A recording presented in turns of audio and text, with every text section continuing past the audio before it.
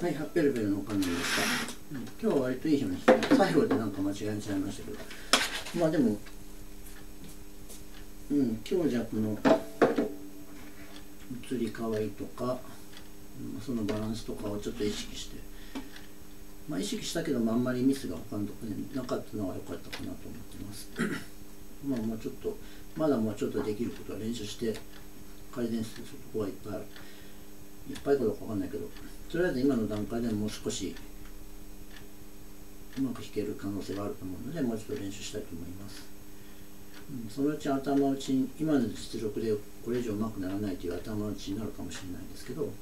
まあ、とりあえずもうちょっとできるかなと思います。